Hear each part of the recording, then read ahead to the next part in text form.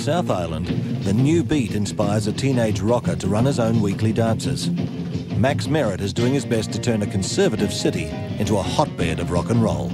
Christchurch, it had the Lyttelton port was just over the hills, and so we used to have a, a lot of the English, you know, seamen coming into the into the place, and and um, it was a very happening scene in Christchurch at that time. There had been a, only one rock and roll dance before me in, in town. That was by Martin Winiata. Uh, he had a he was a saxophone player, and he was a lot older than me. Uh, but we actually started up my dance, and he sort of went out of business because all the kids came to the where the young band was playing. You know. Max was about a year and a half, maybe a little more older than I was, and um, I used to get into that place um, and watch Max, who was doing very much a sort of a Bill Haley. Um, large rock and roll band. They had sax, piano, guitar, bass drums. And uh, what I loved was that all the young people were there all dancing and jiving. And, and because I could dance, I was into the jiving big time. And um, Max really, seeing him there rocking away as a young guy, ins- inspired me that it could be done. Well, of course, the oldies hated it, you know. Um, rock and roll was the devil's music. Um, but the, uh, being a teenager, you know, we loved it you had to go to a, um, a dance to hear it, or you heard it special times on the radio, and that was that was rock and roll. It wasn't not going to last anyhow. New Zealand is a very remote outpost in the new world of rock and roll. But Christchurch is a main line to the latest overseas sounds, the American servicemen stationed at the city's Operation Deep Freeze base.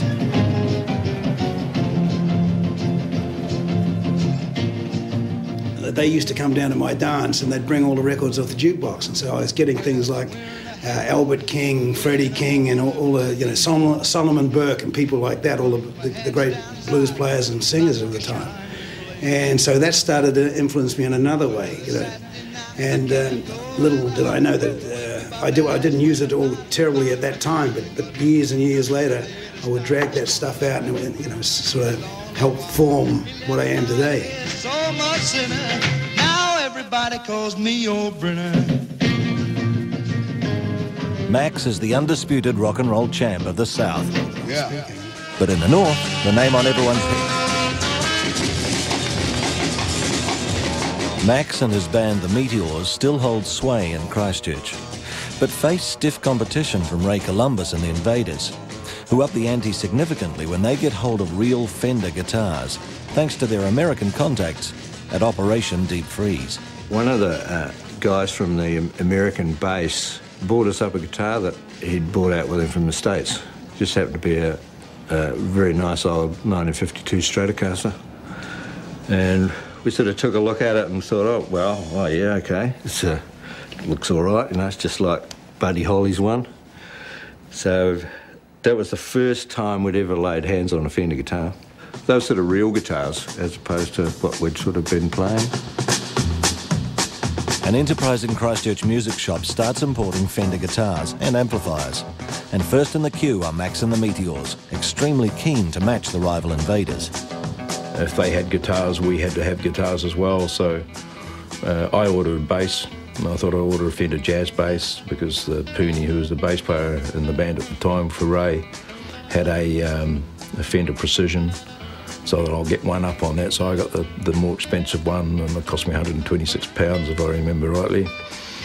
Pretty cheap at the time, and um, I bought that. And then Max and Peter Williams ordered Strats, and we had white ones, and Ray and the guys had pink ones. And then when we, we went to see Cliff Richard in the Shadows. sitting in the, in the Majestic Theatre, we were upstairs. The media was behind us, and we were in front, about the two rows in front of them. And when they said, ladies and gentlemen, there's shadows, and, and Hank Marvin goes, bow, bow, bow, bow, bow. It just blew us out of the theatre. We all looked at each other and said, God, we haven't got the sound at all. Because they had these amazingly powerful amplifiers. And the sound was just awesome. That was the loudest sound we'd ever heard. In Auckland, rock and roll has been sidelined by a swing back to pop and Dixieland jazz in the clubs and dance halls. The scene's perfectly set for the fender-packing rockers from Christchurch. Most of the local bands all were trying to be clones of Cliff and, and the Shads, and some of them were damn good too. But it was more of a pop genre than a rock genre, really. But then when Ray Columbus and the Invaders came up, wow! I mean, they they were really a, a, hot band. I thought they were they knocked me out, and they had all the gear. You know, they they had the sound, and they were a really tight unit. It was a bit of an eye opener for us, and we wondered how they. We, we were wondering how the heck do they get all this equipment because even then, we still couldn't buy um, Fender Stratocasters easily uh, or Fender amplifiers just straight out of the music shop.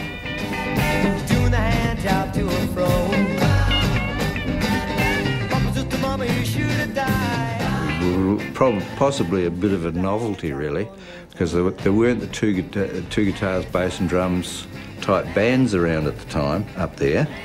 Uh, they were sort of more dance bands with um, you know saxes and piano and. And when we did our first show in, in at Shirley in Auckland, we just couldn't believe it because we just blew them away, and we looked at each other and thought, "Wow!"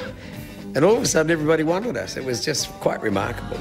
It was a very flourishing club scene. We would play the Monarch on Friday and Saturday nights. We'd play on Thursday nights at the Oriental.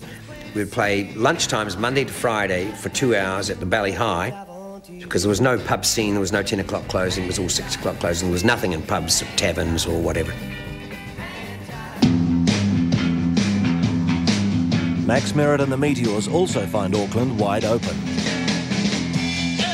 We had had an offer to open up a club in, in uh, Auckland, which was called the Top 20. And uh, that in itself was an experience.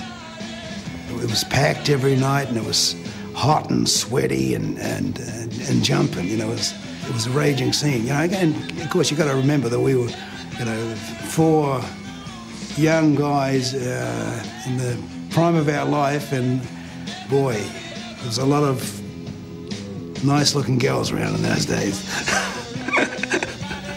it was a bit like a Christchurch contingent at that stage that came to Auckland and crashed the scene, and I think we'd made quite a major impact on the Auckland scene because there was Max and Ray, and Dinah. Diane Jacobs gets her start in a Christchurch nightclub run by her father, and she's great mates with Max and the Meteors. When they leave their Auckland club residency to go on tour, Max invites Diane and her group, the Playboys, up to keep the gig warm. It was like well, dreams come true. You worked every day, you know, every lunch hour and uh, just about every night and all weekend we were all of a sudden full-time musicians. It was, wow, you know, we'd really made it. And there was a shop called the Casual Shop, which I always wanted to go into. It had these way-out clothes. So I thought, I'm going to go up there. I'll pluck up courage. I went up there. And there was a, a model there who was English. And she sort of had a the semi, she was the first one ever, sort of had that semi mod look. And uh, I was looking through the racks and I was looking at this girl, and I thought, wow, she looks she looks cool. That's a good look. So I started talking to her, and she said, "Oh, I know you. You, um, you know, I, I, frequent the places top twenty, and I know Max Merritt, and um, uh, you know, I go to the dance. I've seen you sing." I said, "Gee, I love your look." She said, "Would you like it?" I said, "Oh, yeah. You know, like I said, I've just had my hair done, but hey, let's do it." So I remember leaving there that day with this look and walking down the street and everybody staring at me and like this way out chick. And of course, then I went to sing that night up at uh, the top 20. And I, I, just don't know what happened, just with the look and everything. Um, and the band started doing all this really crazy shaking the head and these really jerky movements. And uh, this, you know, Dinah Lee was sort of. Um, born, but I wasn't even Dinah Lee then. I was still dear little Diane Jacobs, you know. Renamed Dinah Lee by her record company, The Way Out Chick soon has a smash hit. Her cover of Don't You Know Yockomo, backed by Max and the Meteors, storms the hit parades in New Zealand and Australia. Dinah's invited to take her mod style across the Tasman for a television performance. And I'll never forget, I, I went on the set of um, Sing Sing Sing was the show, and there was everyone on it from all these sort of Australian stars that I heard of, and all the girl singers, and they were still wearing their little full dresses and the beehive and the tees. And I looked around, I had these crazy, mad, mod, shapeless dresses to the ground, and so of course I went on sing, uh, sing, sing, sing, and don't you know Yockomo and did all these crazy movements with this way out thing, and wow, there it went because no one had seen the mod look in Australia as well. And they were still riding on the 50s crest when where we were into the 60s, looking the 60s, um, influenced by the 60s and the sound. But the, the thing that really got me in those days was mothers hated me. They hated me because their daughters wanted to get the Dinah Lee haircut. And of course, you know, going from this sweet little girl going to school. And then all of a sudden they get this fringe and um, want to look like me. So mothers and fathers, I wasn't liked at all. But of course, who cares? The kids loved you, and that, that's what it was all about. You know, it was really great. You just influence these kids.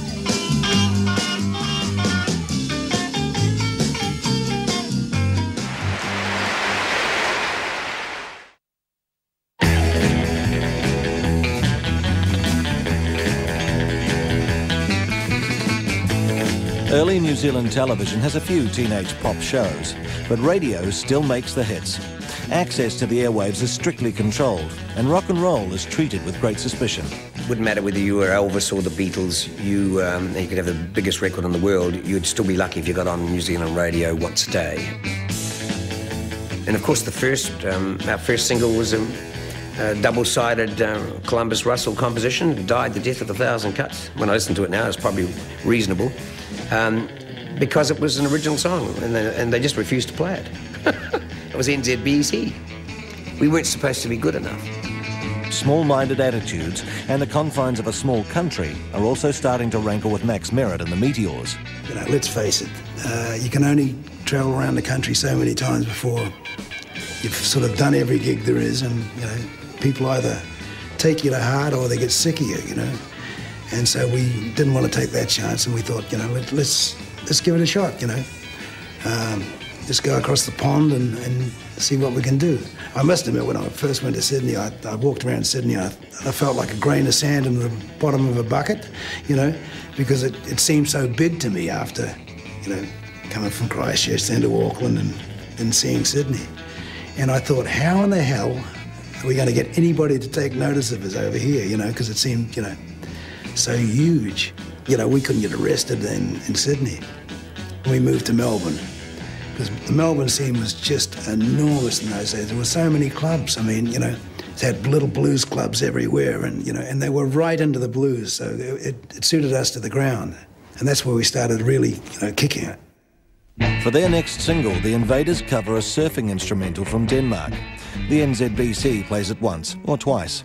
But when Ray tunes his shortwave radio into a Sydney station, he gets a pleasant surprise.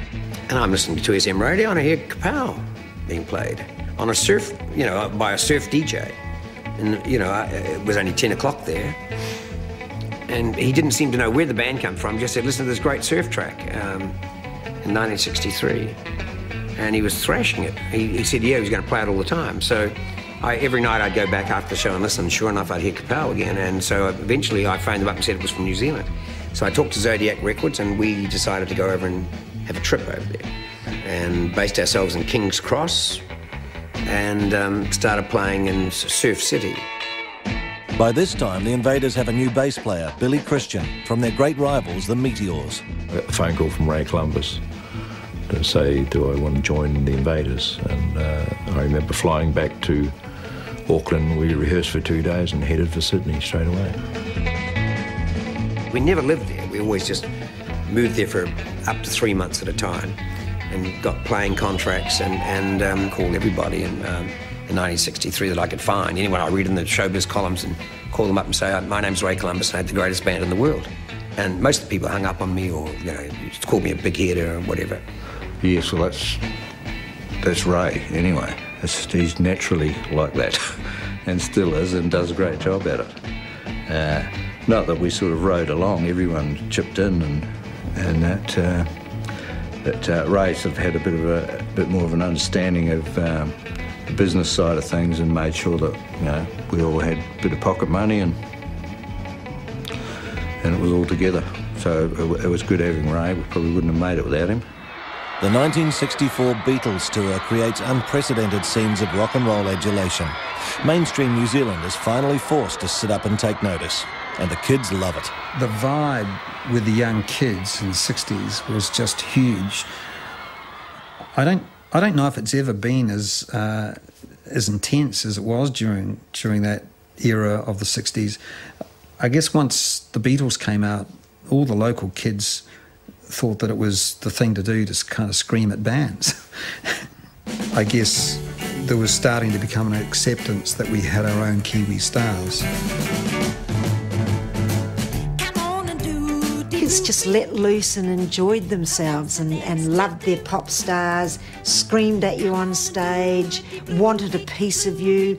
You know, if you're in theatres, would climb up drain pipes to try and get into your dressing room to see you, just to get an autograph. Um, just wanted to be with you. Then you'd talk to your fans and you'd start talking to them. They'd just sit there and they'd, they'd just break down and cry because they it was like, wow, to them, just being with you was like just too overwhelming.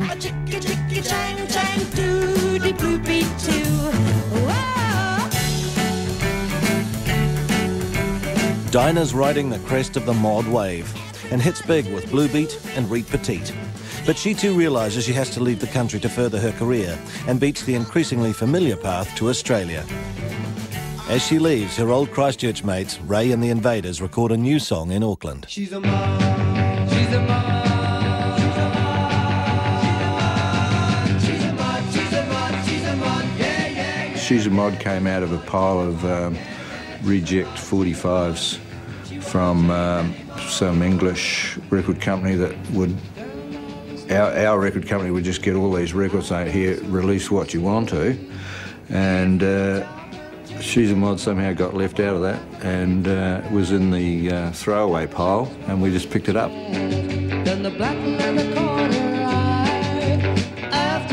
The guys in the band didn't like it that much. They rocked it up a bit and put some extra things in it, the da da dum bum bum bum bum, all that sort of stuff.